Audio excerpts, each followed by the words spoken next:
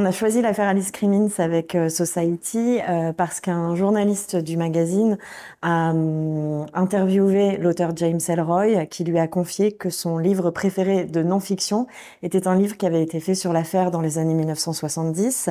euh, par le journaliste Ken Gross et ça a été le point de départ à la rédaction de Society de se dire on va réexaminer cette affaire, euh, on va essayer de surtout de la faire connaître au public français. Ça a été une des raisons du choix, c'est qu'elle n'est pas du tout connue en France. Il n'y a aucune documentation euh, en français sur l'affaire et on, on, voulait la faire connaître euh, en France la, la figure d'Alice Crimmins, qui est la mère euh, des enfants disparus, euh, interpelle beaucoup d'abord les policiers et puis très rapidement les médias euh, parce qu'elle a un mode de vie qui est jugé pour l'époque dissolu. Elle est séparée du père des enfants, euh, elle, a, elle fréquente beaucoup d'amants, elle sort, elle fait la fête. On est au milieu des années 1965, juste avant la seconde vague de féminisme aux États-Unis et euh, forcément sa, sa, figure va être un petit peu érigée comme une figure de sorcière et pour la la presse, c'est du pain béni, parce que ça fait vendre de faire euh, les gros titres euh, sur une mère euh, potentiellement tueuse et qui a, comme certains médias le disaient, une moralité de hamster. Pour mes recherches, donc il y a une phase de recherche d'archives. J'ai lu tout ce qui existait sur les comptes rendus de procès, les archives de journaux, pour avoir une idée de l'affaire, mais j'ai surtout retrouver des protagonistes de l'affaire. Ça a été euh, une longue quête parce qu'aujourd'hui ils ont plus de 80 ans. Bon, certains sont morts, euh, certains n'ont pas de traces sur Internet, euh, donc j'ai dû envoyer des lettres, des courriers postaux euh, à l'ancienne pour essayer de les joindre. Et puis je les ai rencontrés sur place aux États-Unis. Je me suis aussi rendue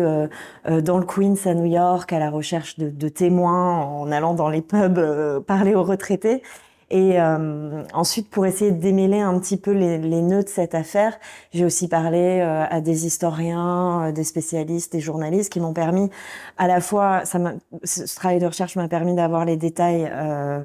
euh, macro sur l'affaire, et puis aussi d'avoir une vision un petit peu globale de, de cette affaire et de ce qu'était New York dans les années 1960. Oui, Irene Cornell est une journaliste, une femme qui a couvert les procès d'Alice Crimmins et euh, euh, elle a beaucoup hésité à me parler dans un premier temps parce qu'elle avait un fort euh, poids émotionnel sur cette affaire qui la hante des années après. Hein. C'est, c'est une affaire qui s'est passée il y a quasiment 60 ans et qui hante encore tous les protagonistes. Euh, et euh, c'est vraiment une journaliste qui, qui s'est euh, débrouillée par elle-même euh, pour se faire une place dans un milieu très masculin et qui a été, ouais, pour moi, vraiment une source précieuse dans mes recherches et qui se souvient de chaque détail de ses procès. Hein, ça l'a vraiment marqué et ça a été très précieux de, de, de pouvoir l'interviewer. Travailler sur cette affaire euh, m'a effectivement donné envie encore plus de travailler sur des faits divers aux États-Unis. Je me rends régulièrement aux États-Unis euh, pour le magazine Society et en ce moment là, j'ai travaillé sur une affaire de disparition de femmes amérindiennes et effectivement ça ça donne envie de,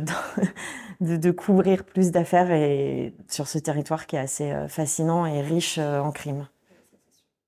Alors ça, c'est la question de est-ce que j'ai retrouvé et parlé à Alice Crimmins, c'est mon petit joker.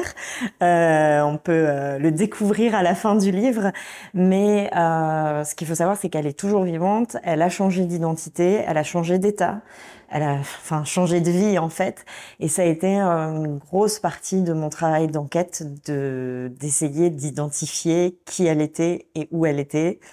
Et j'ai retrouvé des informations et vous découvrirez la suite euh, dans le dernier tiers du livre.